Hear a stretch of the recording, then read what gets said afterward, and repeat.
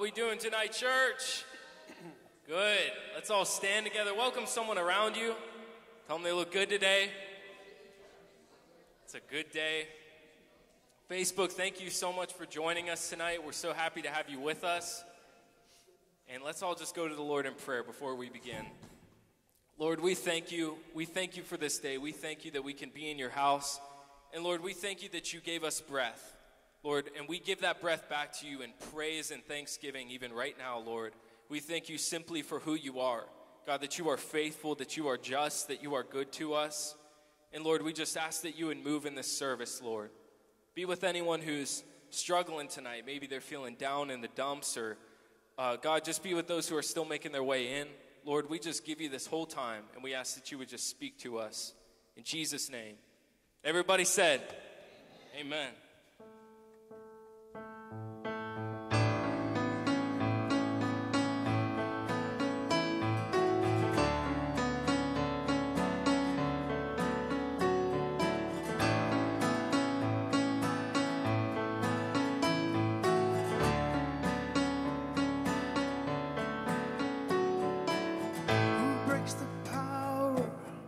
Sin and darkness, whose love is mighty and so much stronger.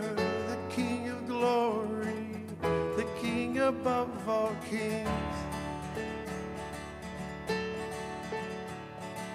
Who shakes the whole earth with holy thunder and leaves us breathless in awe and wonder. Above all kings. This is amazing grace. This is unfailing love. That you would take my place. That you would bear my cross.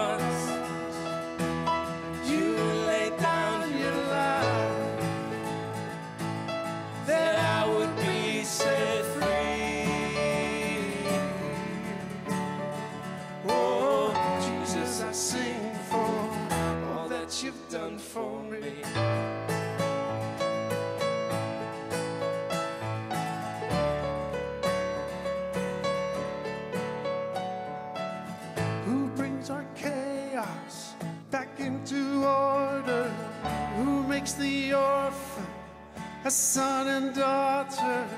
The King of glory, the King of glory, who rules the nations with truth and justice shines like the sun all of its brilliance the king of glory the king above all kings this is amazing grace this is unfailing love that you would take my place that you would bear my cross. You laid down your life that I would be set free.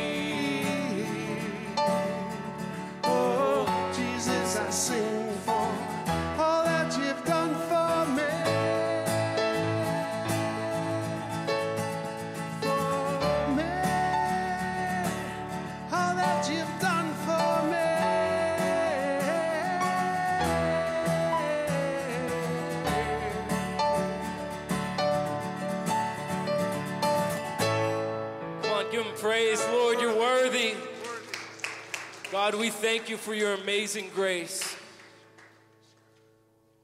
Lord, your love never fails us. And Lord, we thank you that even when there seems to be no way, Lord, you always make a way for us. We just thank you right now, Lord.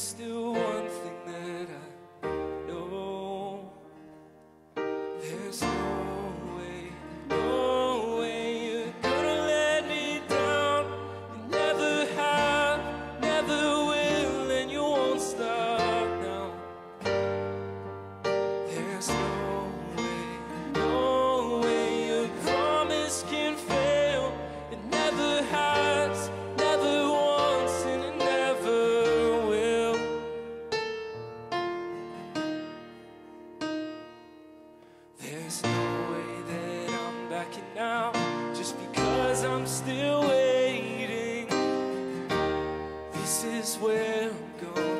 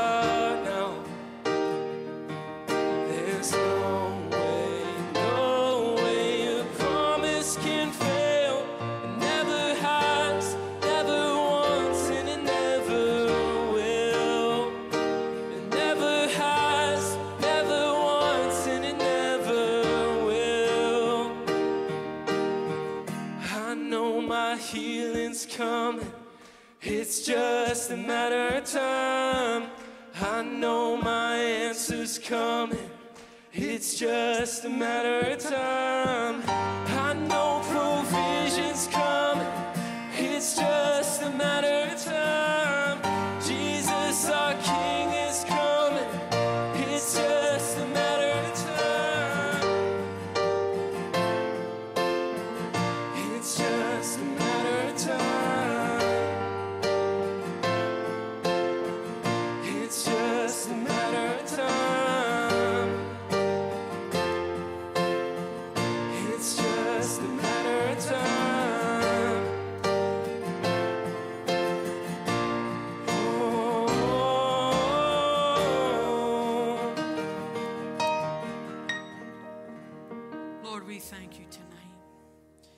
Thank you tonight for your goodness. We thank you tonight for your grace and your mercy.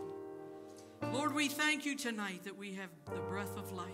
Lord, it could be that we were at home sick in bed, or Lord, somewhere else where we could not be here. And we say thank you that we can be. Lord, I pray tonight for those that need a touch in their bodies.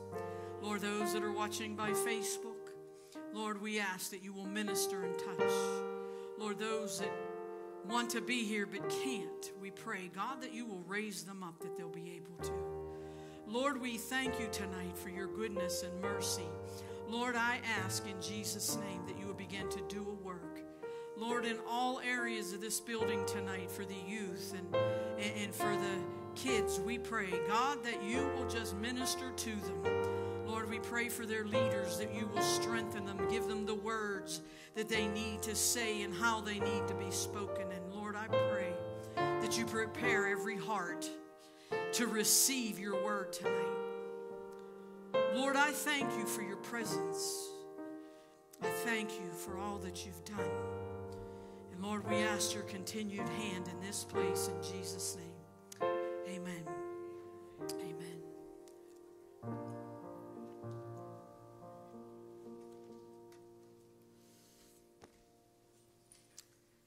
Youth may be dismissed at this time.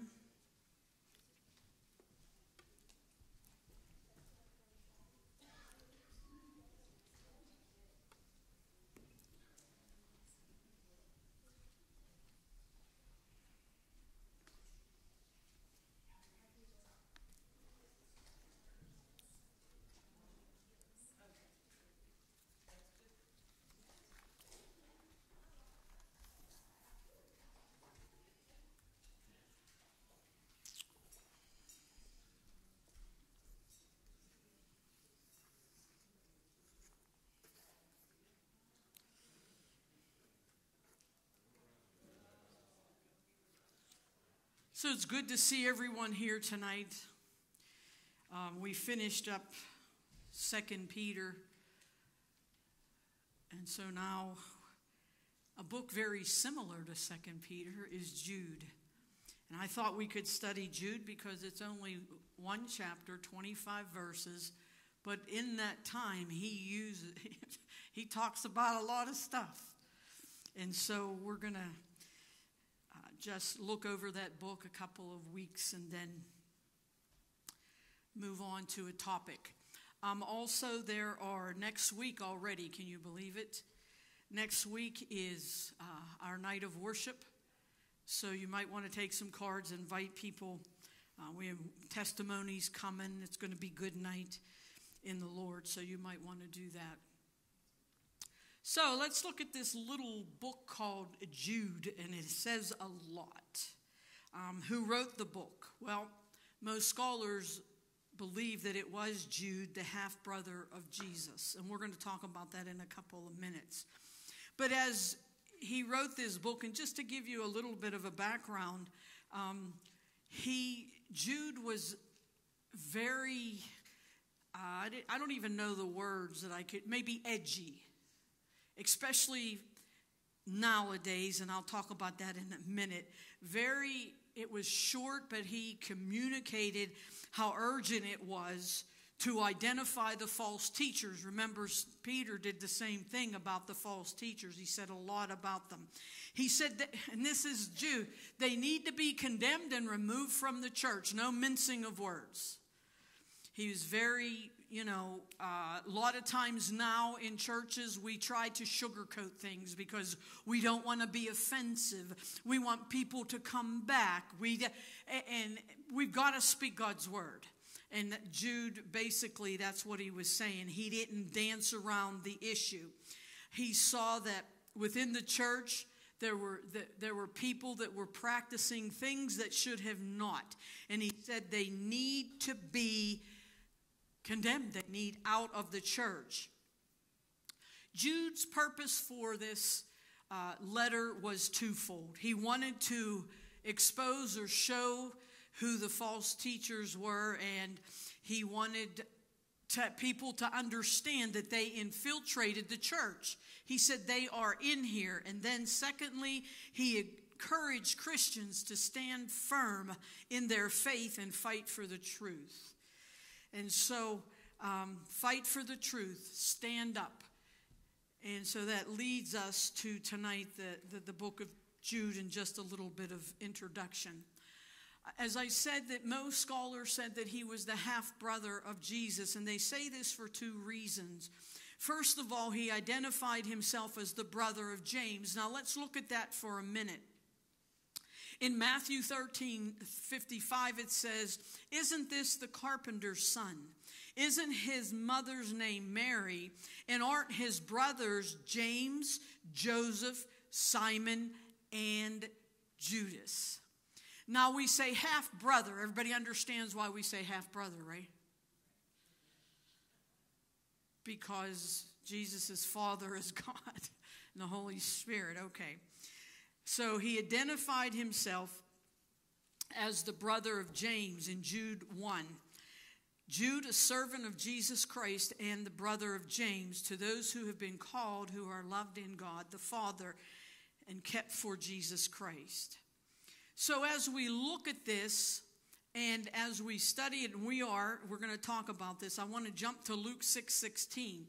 When the morning came, this is Jesus, called his disciples to him and chose 12 of them, whom he also designated apostles Simon, who he named Peter, his brother Andrew, James and John and Philip, Bartholomew, Matthew, Thomas, James, son of Alphaeus, Simon, who was called the Zealot Judas, son of James, Judas Iscariot, who became a traitor.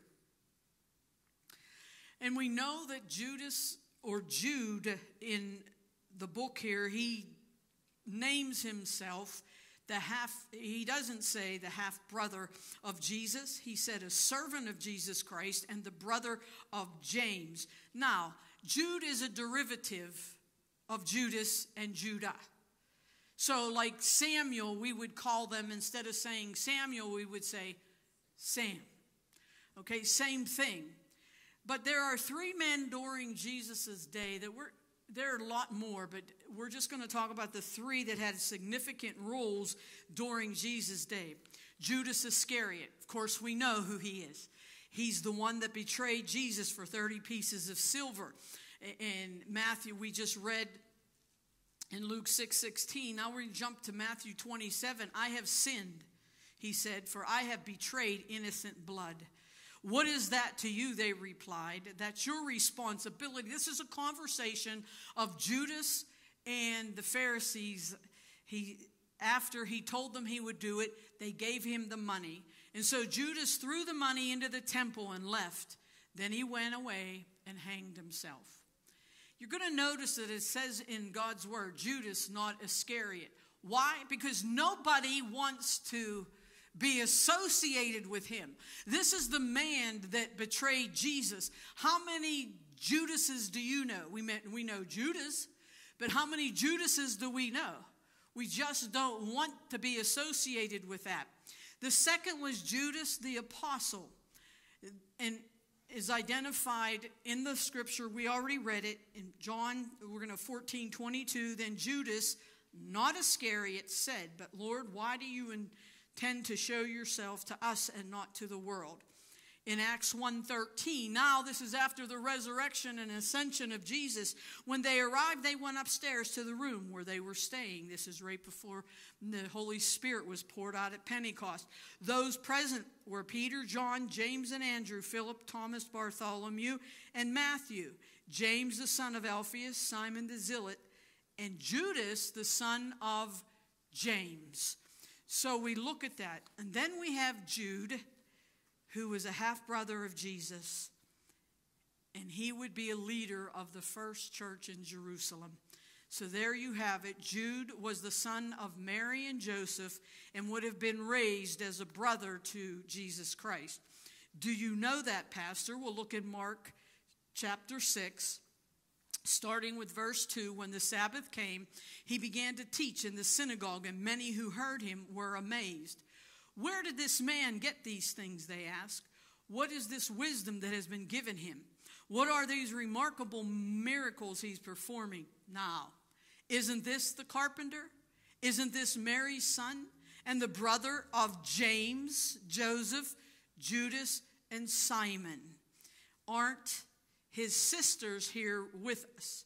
And they took offense. Now, this is right after that when Jesus talked about that a prophet doesn't have any honor in his own home or town.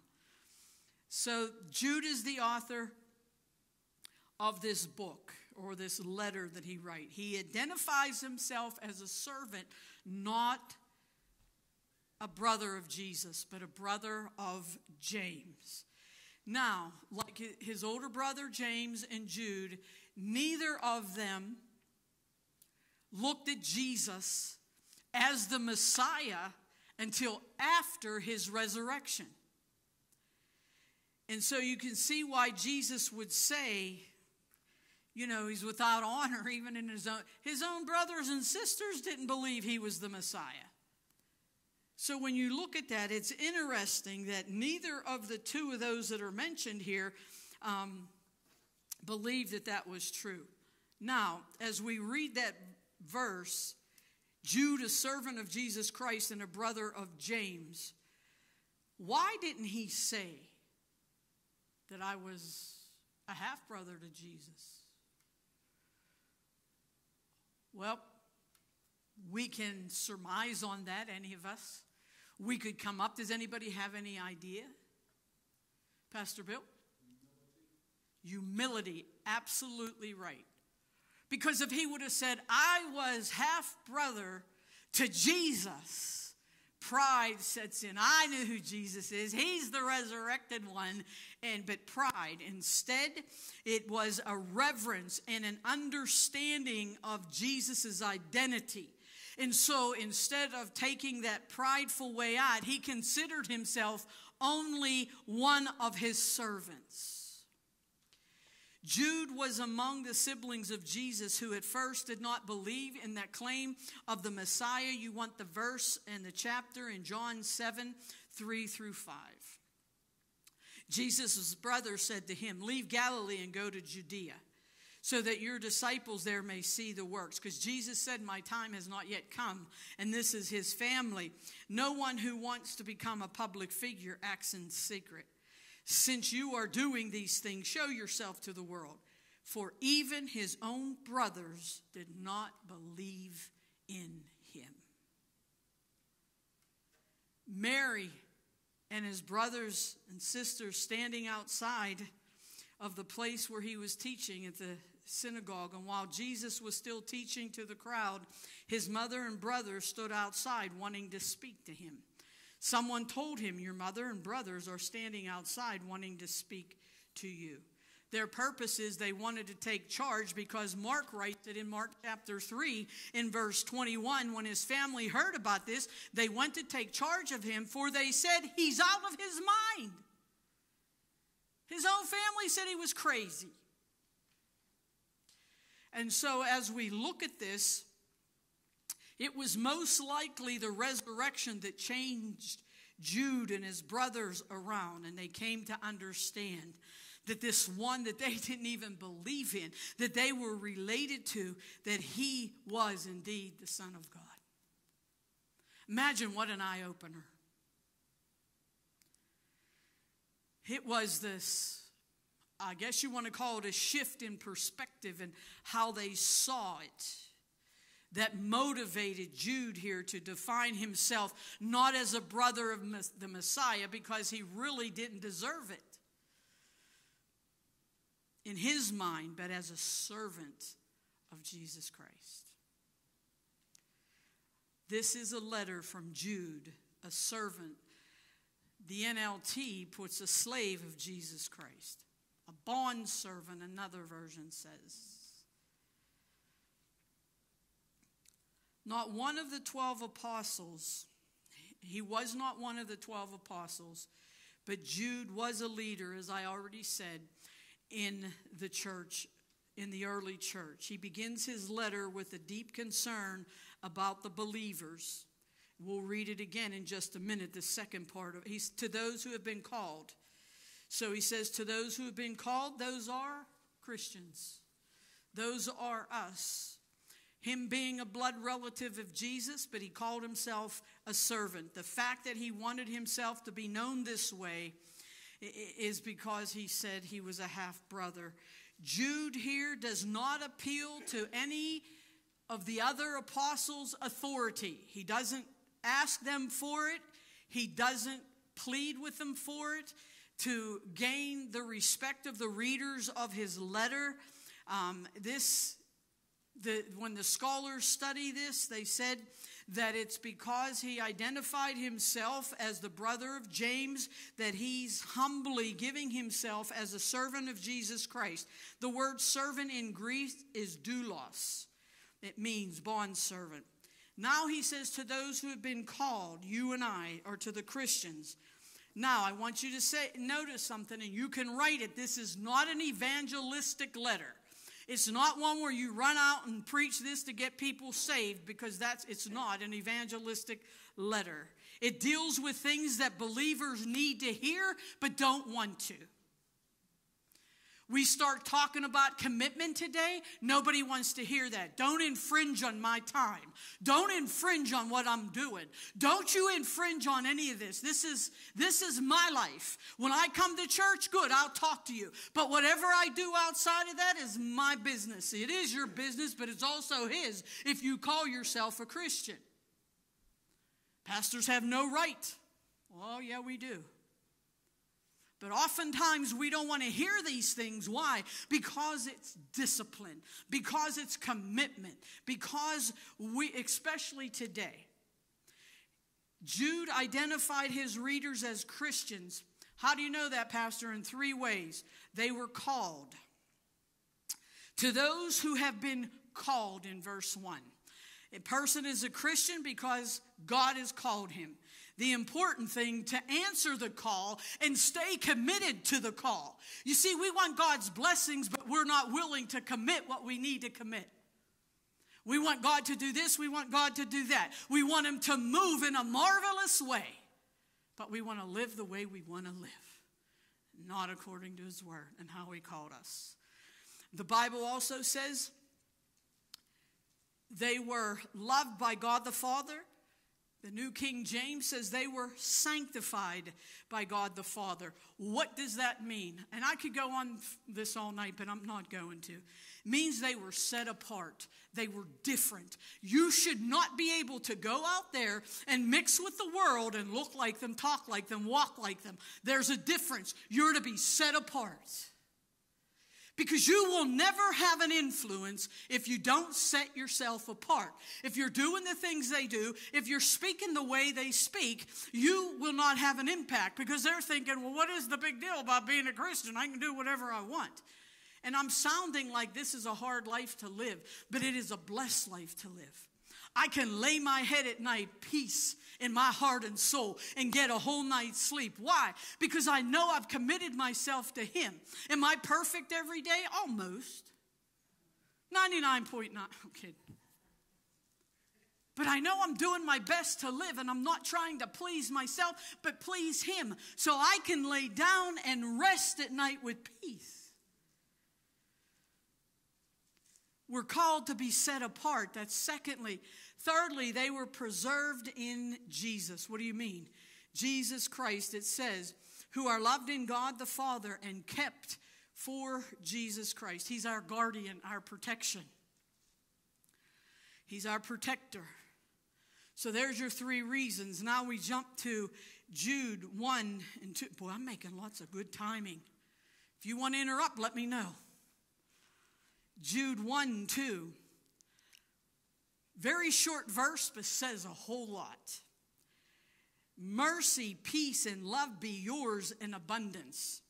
Or mercy, peace, and love be multiplied to you. This is what Jude is saying to the Christians. In the mind and heart of Jude, it wasn't enough that he offered you mercy, peace, and love added to your life as a Christian living, but he took, if you use the New King James, he said, mercy, peace, and love be multiplied to you. Why didn't he say add, to, added to you? Because multiplied in the other version says in abundance, more than enough. You'll have the peace you'll need, you'll have the mercy that you need. He said that it would be multiplied in abundance. Well, why don't I have peace, Pastor? Then examine your heart, examine your life, and ask yourself why. Because that love, joy, faith, peace is one of the fruits of the Spirit, and He gives us those when we say, Hey, here I am, I'm yours. I give it all to you. Jude's desire that we would experience an overflowing amount of mercy, peace, and love. That's why he says in abundance. And if you noticed here, he's using threes. He used here threefold structure again. He says, I want you to experience God's mercy, His compassionate help. Not only does God say, listen, you can have all these things, but I'm going to help you along the way. His compassionate help. And then he knew, Jude knew that we would need a strong sense of wellness. What do you mean, Pastor? We need peace. We need it. Because when something comes our way and we have the peace of God, which transcends, that's coming in a minute, that passes all understanding, that Philippians says, you know, when we have that and circumstances come, now they'll say, oh, offering was only. I'm like, God has this. I'm not the least, and I am not. Ask any of them, they'll tell you. Well, Pastor, it was only 2,000 today. Ah, God has this. I don't. It's His church. It's been like this for years. But somehow we make it. Somehow we're still here. Somehow we can still have outreaches. Somehow we can still fulfill our missions commitment. Somehow it all happens. We have peace. I broke down one time here over money issues. One time. It was a leadership meeting.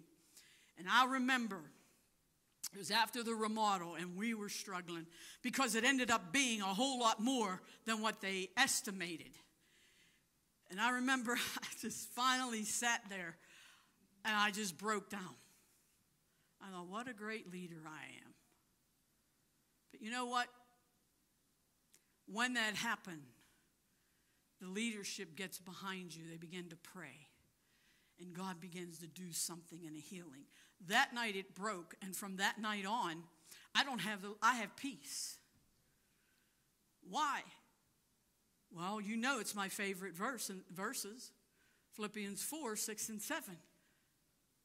Do not be anxious. That's a command. It's not say, well, if you feel like it, if it's not too bad, don't be anxious. No, it says, do not be anxious for anything, but everything by what? Prayer and supplication, thanksgiving prayer. Lord, I give it to you. I don't understand it, but I know that if I can do that, He'll keep our hearts and minds. See, when we understand this and we're living, that's why we need this strong sense of wellness, this peace, so that we're not taken off route with everything that happens. Oh my, how am I going to make the how am I going to make my mortgage payment, my car payment? I don't know what I'm going to do. When you're serving the Lord as you need to serve the Lord, you have that peace. And then there's that supernatural love. Specifically, a love for God, number one, and then a love for others. They're going to need God's compassion. We're going to need to understand God's supernatural love whenever we're attacked and whenever we have to say to the false teachers. And, and, and look at our society today. This woke culture says everything and anything is okay. And so we have to be able to stand up and say, oh, no, it's not okay. So I need God love and compassion on how do I say it. I want them to know I care and love them, but at the same time, I'm not going to accept what they throw at me. Hebrews 4:16 says, "Let us then approach God's throne of grace with what? Confidence, so that we may receive mercy and find grace to help us in our time of need." I imagine these words motivated Jude and those that would begin to read. And you know what? Those that have wandered away from Christ with these things, listen, I can go to the Father and I can go with confidence. Mercy. Those that have been given mercy are merciful to others. So we need peace and mercy, three structures, and love. And these first three verses of Jude tell us we have to defend the faith. Let's look at this. Dear friends, here he is. You're my friend. And we could go around this room and say, What is your definition of a friend? What do you feel a friend is? Somebody want to tell me one word, two words, what a friend is? Willing to listen. Anyone else? Being there for you. Someone who loves you unconditionally. Even when you're miserable, Cheryl. Is that what you're saying? Even when you're not lovely. Even when you just say no. He loves you unconditionally. Anyone else? What's a friend? compassionate. Pastor Bill? Loves at all times. Doesn't matter what. Dear friends, dear those of you that will love at all times, dear that will be there for you, dear the one, we can go on and on. He says, I was eager to write I was there, eager, earnestly, ready to write to you about salvation that we share. Now, it's important because I'm going to talk about that in a minute. But he's saying, I was eager to write to you. And I was going to write to you about this salvation that you and I share. His initial desire was this common salvation. But something happened. Jude found it necessary to write a completely different letter. And I want us to look at that for a minute because it's in here for a reason. Nothing is in here by mistake. So he wrote that in here, and we might say that this was the letter that he didn't want to write and that we didn't want to hear.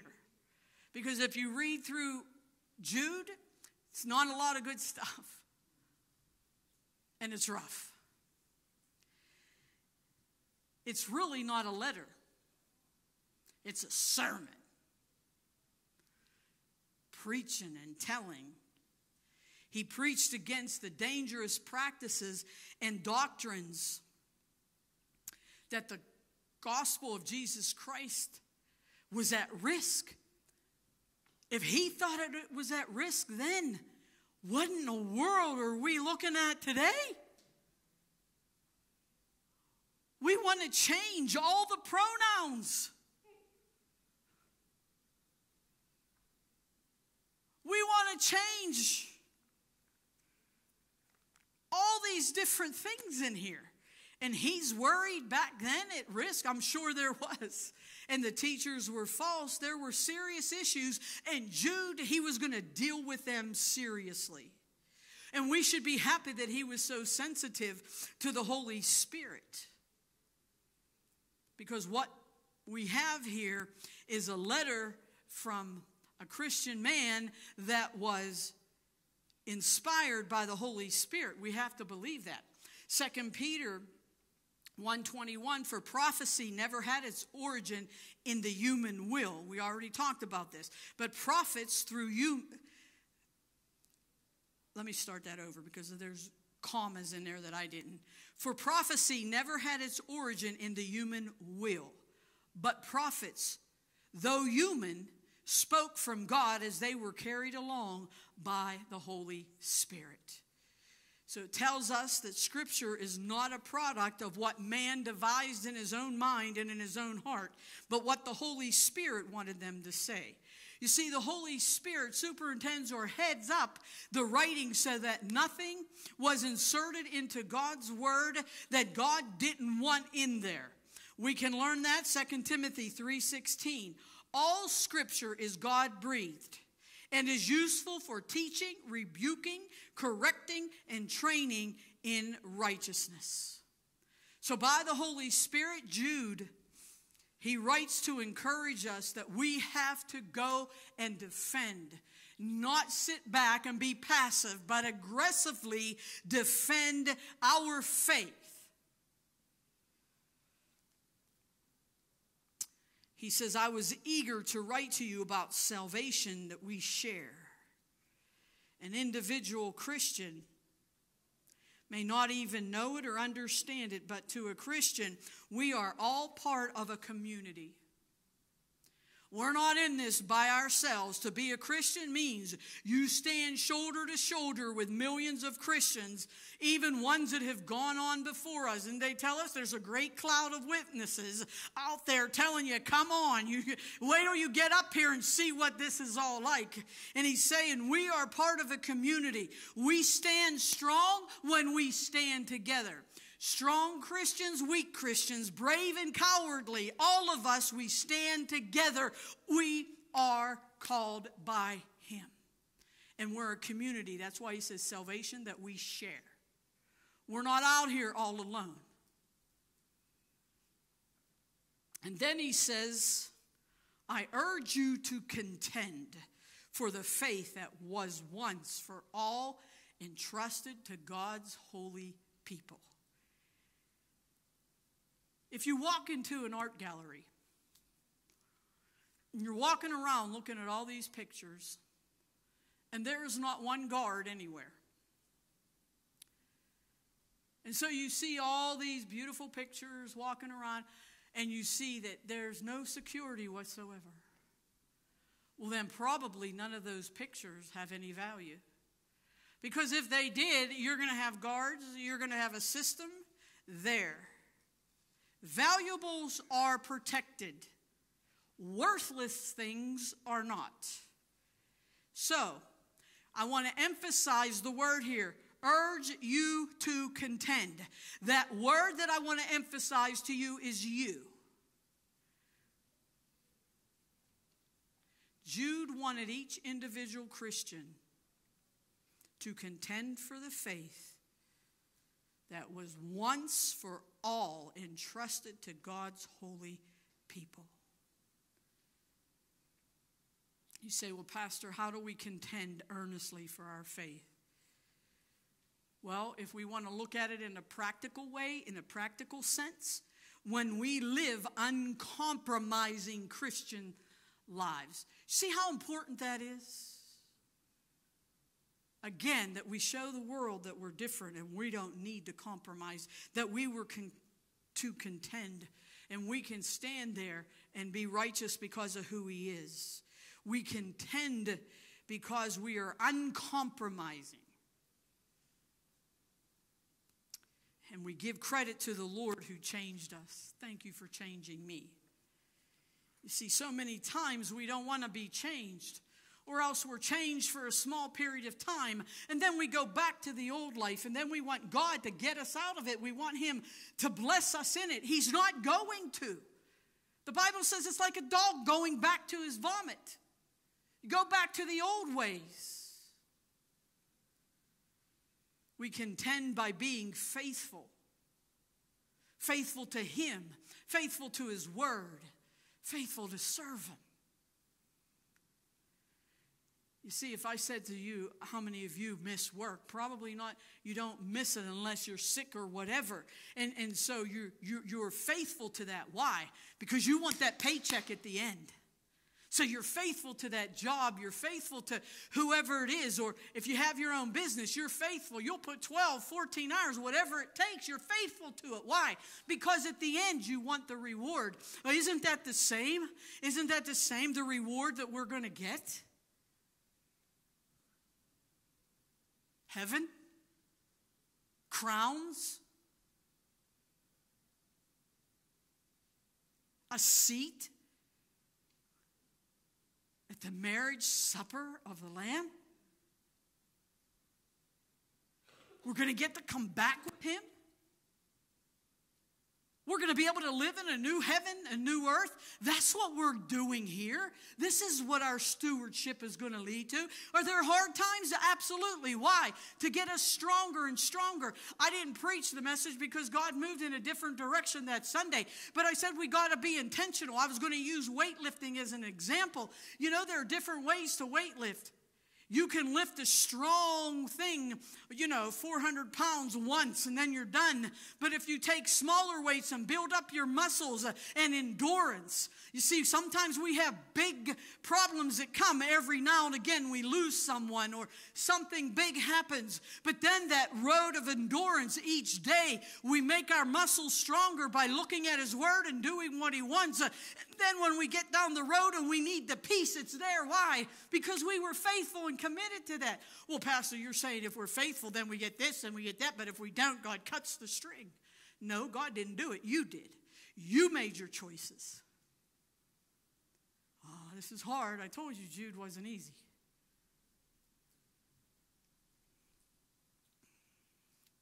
We can look at faithful missionaries and evangelists. Let's go to the local church, our children's workers, our, our youth leaders. They're contending for our faith. Just as much as the frontline missionaries, because isn't that what we are here? We're just in a different location. Each one of us, we've got to contend, Jude says. I urge you to contend for the faith that was once for all entrusted to God's holy people. He gave this to us, He trusted it to us. So we got to stand up and fight for the truth. And I'm done. That was enough, Pastor. Anybody want to add to it? We've got some. Pastor Bill, go ahead, give him the mic because they, I want them to hear it. And then, did you have your hand raised, Tammy? No. She's like, nope. In verse 3, uh, King James has earnestly contend, and it means to struggle with determination against the adversary. And you have to be determined. Uh, to uh, contend, fight against uh, the enemy, wants to distort the word of God always. In the beginning of that verse, instead of friends, the King James has beloved, and it means loved above all. Yep. He's writing to those that are loved above all. That's a saints. And I just had one more comment from verse 1 um, where um, his own brothers didn't believe that he was the Messiah. There's a story that when Jesus was young, he told his brothers, he says, I'm the Son of God. And they said, No way. He says, Yahweh. ah, that's great. Anyone else? It's good stuff. No one else? Any questions? Because I had to introduce it, I, I, didn't think I would get over these three verses, but because I had an introduction to it, um, we won't get through it all the next time. We'll have to split it up in a couple of verses. a couple of weeks, but we will. No questions? Okay, we're going to pray, and then you're going to have time here to socialize with each other. Father, we thank you. We thank you for your word tonight, and we thank you that you have entrusted us. And Lord, when the enemy comes at us because of who you are that lives within us, we can defeat that. But Lord, we have to be determined and intentional. We are the only ones, and Lord, you will strengthen us by your Holy Spirit. And I pray that you will give that to us, even those that are here tonight, those that are watching by Facebook. God, we ask that you will minister and touch them. Lord, I ask that you will give us a desire a desire for you, a desire for your word, a desire to be faithful. And God, we thank you tonight. I thank you that you will get everyone home safely and that you will be with them through the remainder of this week. In Jesus' name, amen. Remember on Saturday, ladies, the luncheon or breakfast. Breakfast. God bless you. Have a wonderful week.